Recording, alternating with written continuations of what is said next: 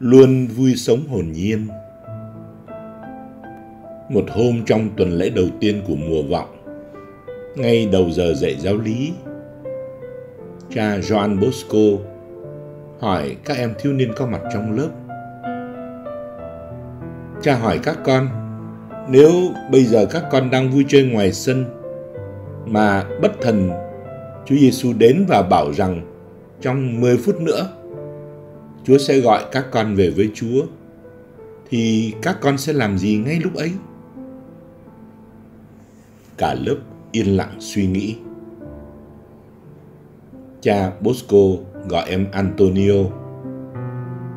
Em đứng lên ấp úng trả lời. Dạ, thưa cha, con sẽ chạy ngay về nhà để từ giã ba má của con. Rồi con sẽ quay lại kịp đi theo Chúa. Cha John Bosco lại chỉ em Bernardo. Cậu ta vội đáp, dạ thưa cha, con sẽ về phân phát hết tủ quần áo của con cho những người ăn mày trong xóm. Còn số đồ chơi thì con tặng hết cho lũ trẻ nghèo khổ con cái của họ. Chắc là Chúa sẽ hài lòng và ban thưởng cho con nhiều hơn. Cha Bosco gọi đến Camilo. Cậu này do dự một chút rồi trả lời vẻ như vẫn còn bối rối ghê lắm. Dạ thưa cha, có lẽ con nên vào nhà thờ để ngồi cầu nguyện đợi Chúa. Thời gian đâu có bao nhiêu, nhỡ Chúa đến sớm hơn một chút thì sao? Đến phiên Stefano, cậu trả lời ngắn gọn. Dạ thưa cha, con sẽ xin cha cho con xưng tội ngay. Chắc chắn con sẽ sạch tội và được vào nước trời cả lớp. Từng học sinh một đã dần dần trả lời. Cả lớp, từng học sinh một đã dần dần trả lời. Nhưng dường như cha John Bosco vẫn chưa tỏ vẻ hài lòng.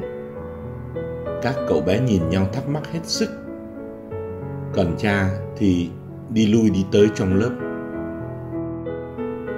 Chợt như sực nhớ, cha John Bosco chỉ tay gọi Domenico Savio ngồi ở góc lớp. Cậu đứng dậy khoanh tay nghe cha hỏi lại câu hỏi. Thế còn phần con Savio, nếu như con đang nô đùa vui vẻ với bạn bè ngoài sân chơi, mà Chúa Giêsu đột nhiên đến và gọi con về với người, thì con sẽ làm gì trong thời gian chờ đợi ấy? Domenico Savio mỉm cười, đơn sơ trả lời.